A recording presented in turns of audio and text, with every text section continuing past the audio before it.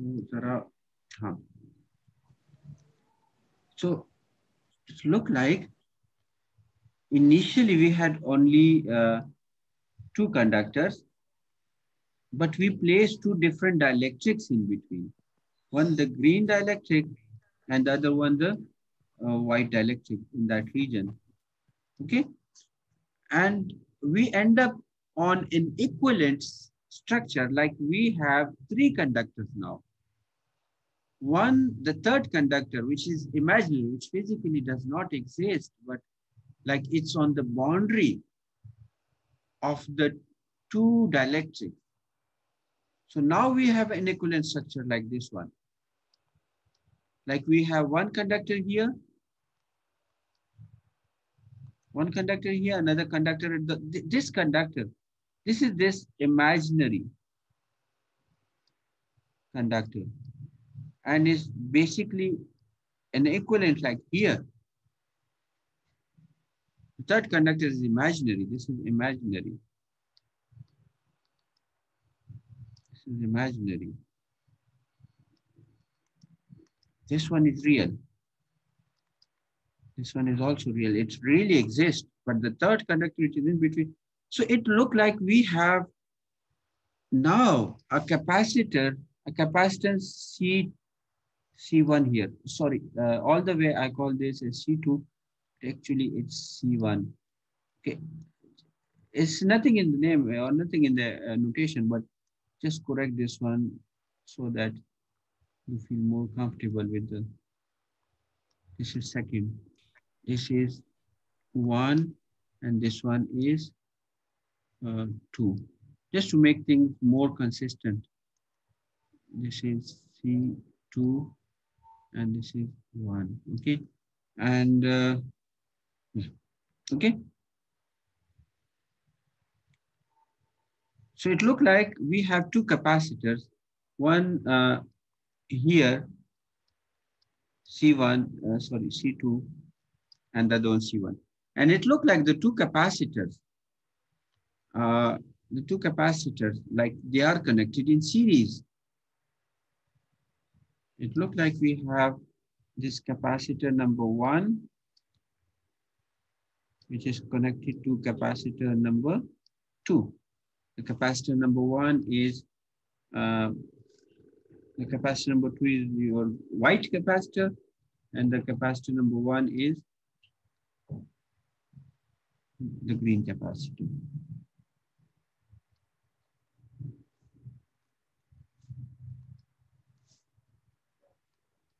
Okay, it looked like we have two capacitors now, and they both are connected in series. So we have capacitance C1, the green capacitor, we have the gray or the white capacitor C2, and they are connected in series. So their series equivalent capacitance is like 1 over C1 plus 1 over C2 inverse. Is this clear now?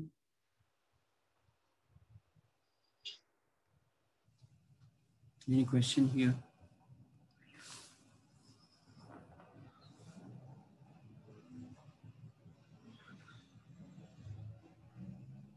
No, sir, no question. No question. Okay. So here is the equivalent thing. Uh, this is how we end up on two capacitors in series. Okay. Go through this example.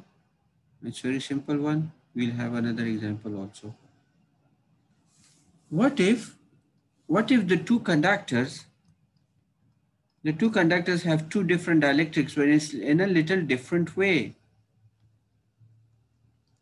It will make C1 here, and this one will make C2 here. Okay, the dielectric, again, between the two conductors, we have two different dielectrics, but their arrangement is different. Okay, so if here this entire plate is say VA and this entire plate is say VB. So both C1 and C2, they are, they are across the same voltage. Okay, so it look like if this line is say VA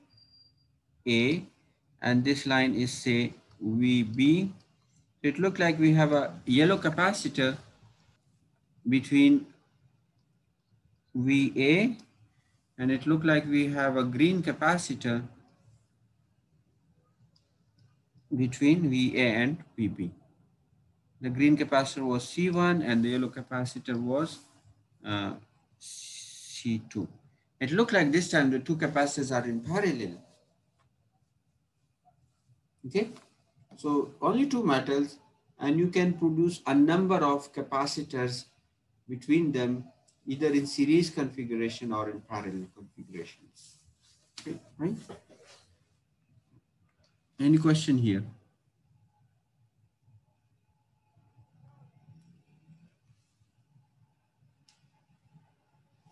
No, sir.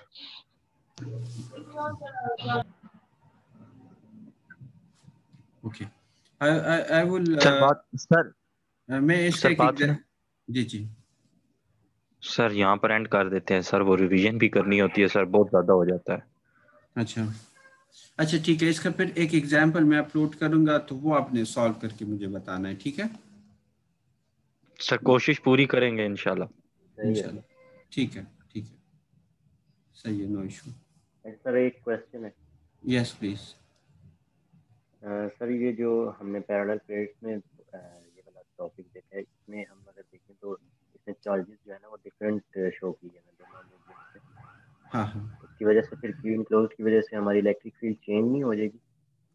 हाँ electric field हाँ बिल्कुल change हो रही है। देखो basically होता क्या है कि डी अगर हम ये स्ट्रक्चर ले लेना सो देखो बाउंड्री दो दो दो स्ट्रक्चर के दरमियान बाउंड्री कौन सी है?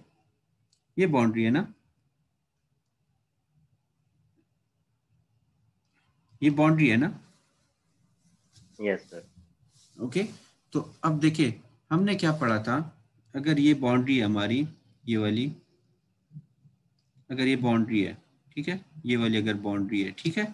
तो हमने क्या पढ़ा था कि जो बाउंड्री के ऊपर जो टेंजेंशियल कंपोनेंट है वो क्या है?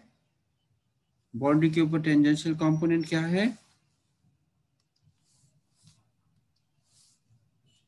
सेम है कॉन्टिन्यूस है हाँ चेंज नहीं होता। अब देखिए अब इसको देखिए एक मिनट मैं वापस इस डायग्राम की तरफ़ आता हूँ।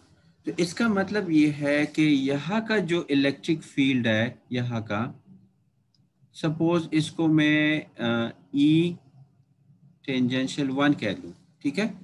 और यहाँ का जो इलेक्ट्रिक फ़ील्ड है इसको मैं ई टेंजेंशियल टू कह दूँ।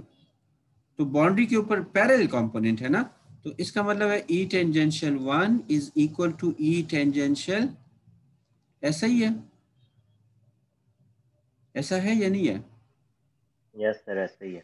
हाँ अब अब देखिए अगर मैं दोनों साइड को एप्सिलॉन नॉट से मल्टीप्लाई करूँ tangential one epsilon nought E tangential two तो अब अब कोई इशू आ गया इक्वेशन में? कोई इशू नहीं है ना?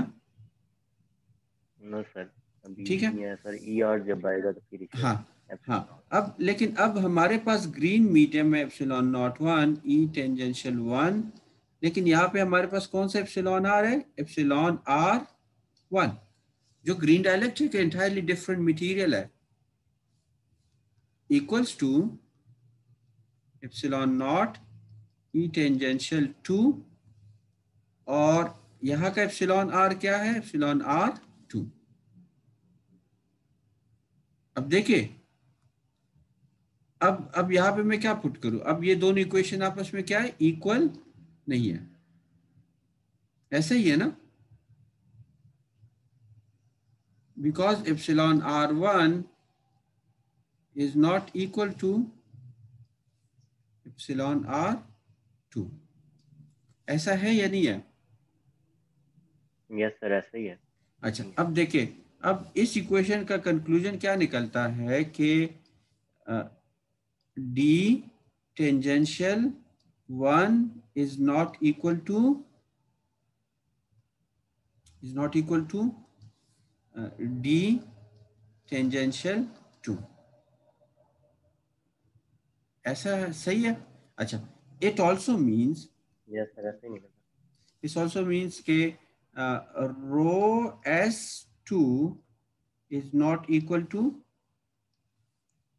rho s1 S one हाँ तो इसका मतलब क्या है कि charge divided by area area one is not equal to charge divided by area हाँ तो चार्ज डिवाइड बाय एरिया ही डिफरेंट है रो एस ही डिफरेंट है। यहाँ पे डेंसिटी कुछ और है और यहाँ पे डेंसिटी कुछ और है चार्ज की। तो ये रीजन है। डिफरेंट चार्जेस एकुमुलेट होंगे। वो डायलेक्ट्रिक के हिसाब से चार्ज की डिस्ट्रीब्यूशन ही डिफरेंट हो जाती है। यस इस वजह से हमारे पास पैरल चीज़ आनी शुरू हो जाती है। लेकिन यहाँ का यहाँ का वोल्ट वी ए है यहाँ का वोल्ट वी ए है यहाँ का वोल्ट वी ए है यहाँ का वोल्ट वी ए है यहाँ का वोल्ट वी ए है। और यहाँ का वोल्ट वी बी है। यहाँ का वोल्ट वी बी है। यहाँ का वोल्ट वी बी है। वी बी ठीक है? यस सर तो दोनों डायलेक्ट्रिक सेम वोल्ट के दरमियान पड़े हुए हैं। लेकिन उन पे चार्जेस डिफरेंट है। जिसकी वजह से दोनों सिर्फ़ दो मेटल्स की वजह से आप दो तीन चार पाँच जितने डिफरेंट डायलेक्ट्रिक यूज़ करेंगे डिफरेंट कैपेसिटर्स आपको मिलेंगे। ठीक है? तो इस इधर क्लोज कर लेते हैं देन हम नेक्स्ट टाइम इसकी एग्जांपल मैं अपलोड भी कर लूँगा फिर सॉल्व भी करेंगे ठीक है? मैन्युफैक्चरर एग्जांपल लेंगे ठीक है? ओके सर ठीक ठीक है sir Any other question?